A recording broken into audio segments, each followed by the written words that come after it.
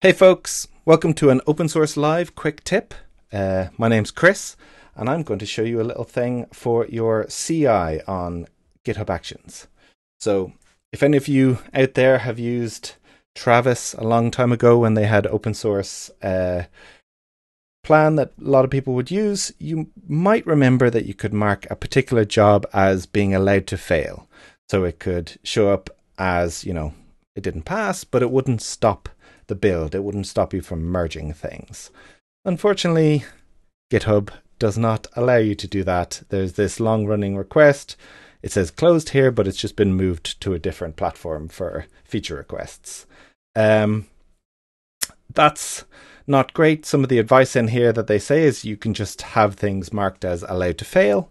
Uh, and if you do that, you know, CI still passes, it's allowed to fail, but you don't know that these ones down here have failed in some way. So you don't know that you need to fix it. And in our case with Ember, you have six weeks to fix it until Ember beta becomes Ember release.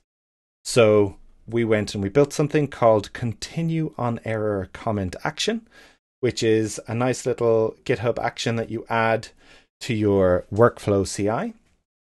You can add it after a job that has continue on error set to true.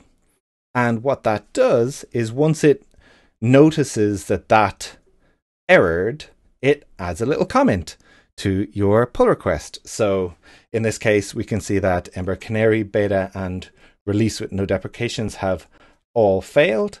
Um, that hasn't prevented me from actually merging this because if you look at them down here, Canary and beta, they're all they look like they're going to pass, which is nice. Um, and yeah, you can go and try this out if you want to. You can go to Mainmatter or github.com slash mainmatter continue on error comment, and you can use this in your GitHub actions. Uh, you can reach out to me on relate at mastodon.social if you have any questions, or you can watch me live stream at twitch.tv slash relate.